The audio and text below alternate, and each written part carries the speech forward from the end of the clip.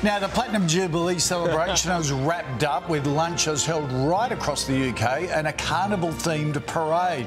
But before everyone took to the streets, there was the party of a lifetime at Buckingham Palace. From a cameo by Paddington Bear to Diana Ross's show stopping closing performance, the world tuned in. Monique Wright joins us from the palace. Mon, Her Majesty was also watching from home. Nat Kochie, she was. Uh, the Queen also surprised everyone with this gorgeous pre recorded message with Paddington Bear. But again, it was the young royals who stole the show.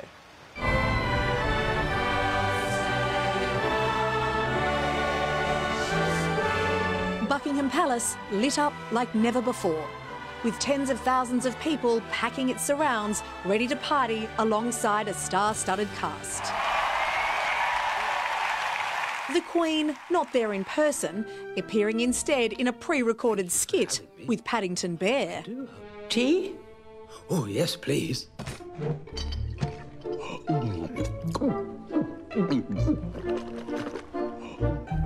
Oh, terribly sorry.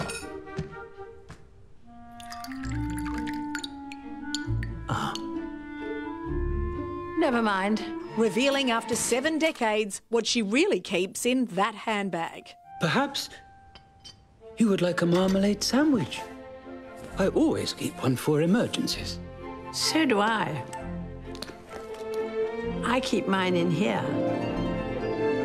Oh. For later. A teaspoon tap. Then became the royal cue for another queen.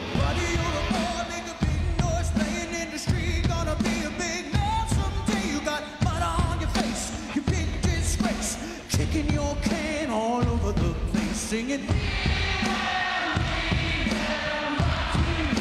For the next two and a half hours, the biggest names and biggest hits didn't stop. From Duran Duran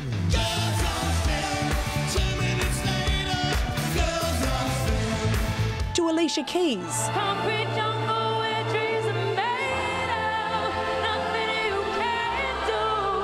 The stars just kept on coming. Andrea Bocelli.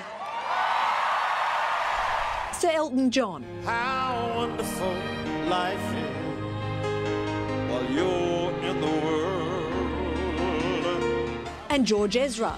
I'll be riding shotgun underneath the hot sun, feeling like a someone. 22,000 people officially had tickets to the party. The Cambridge children were front and centre. Princess Charlotte and Prince George loved it too.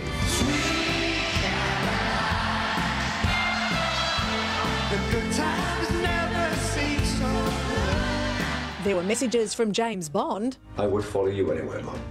Out of any helicopter door. and from around the world. Heartfelt tributes too from the royal family. While no one's grandmother thanks them for talking about their age, my own grandmother has been alive for nearly a century. Your Majesty, Mummy, Closing the show, music legend Diana Ross with her first live performance in the UK in 15 years.